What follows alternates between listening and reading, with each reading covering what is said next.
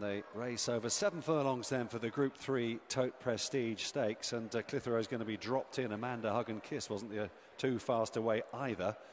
Value Theory in the light green jacket will take them along as they race on uh, up the hill. She leads from Dane in the yellow colours with Mise en Scène on the inside there for Qatar Racing in the claret jacket.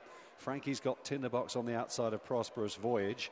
Just behind them then is the purple jacket of Hello You on the rail, who's ahead there of Wilderness Girl in the red cap, alongside Clitheroe in the bronze colours.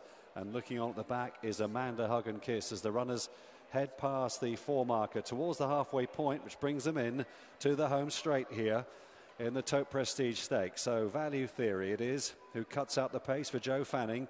Waited with on the outside, Dane poised to strike there for James Doyle. Oisin Murphy on board.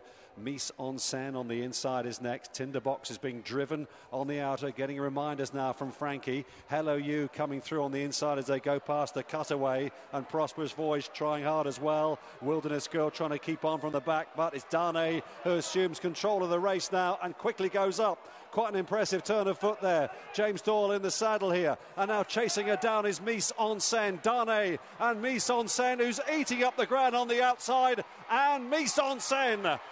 She got up to win it from Dane in second. It was tight with Prosperous Voyage and Hello You for third and fourth. That goes to the judge.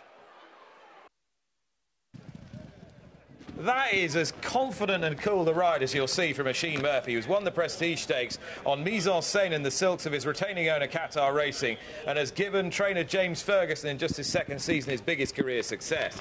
Has beaten Dane, the favourite, into second place, and she got a couple of lengths on him inside the final furlong. It was